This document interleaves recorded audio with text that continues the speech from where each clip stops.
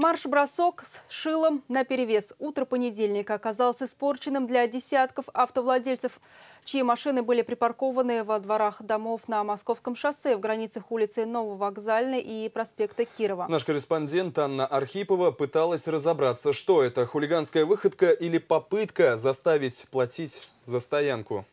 Судя по метеоусловиям, до Дня жестянщика еще очень далеко, да и менять летние покрышки на зимние тоже рано. Однако сегодня с самого раннего утра у шиномонтажей в седьмом и в седьмом А микрорайонах выстроились очереди.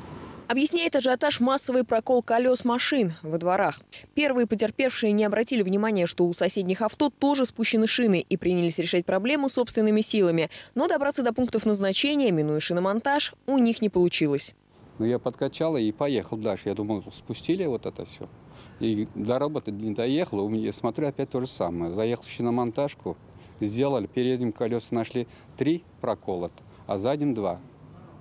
Ну, мне ущерб сейчас составил 1330 рублей оплатил сейчас. По подсчетам местных жителей, хулиганы прокололи колеса 64 машинам. Под удар попали как иномарки, так и отечественные легковушки. Возместить ущерб некому. К примеру, машина Александра застрахована лишь по обязательному полюсу. Однако те, кому не жаль было времени, дождались приезда полицейских. По предварительным данным, большинство машин были припаркованы с нарушением правил.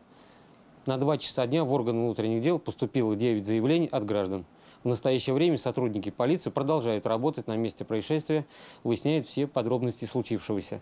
По данному факту проводится проверка, по итогам которой будет принято процессуальное решение. Извлекут ли владельцы авто урок из этого происшествия? Вопрос открытый. Полицейские продолжают выяснять все обстоятельства произошедшего. Анна Архипова, Дмитрий Столяров. Новости губернии.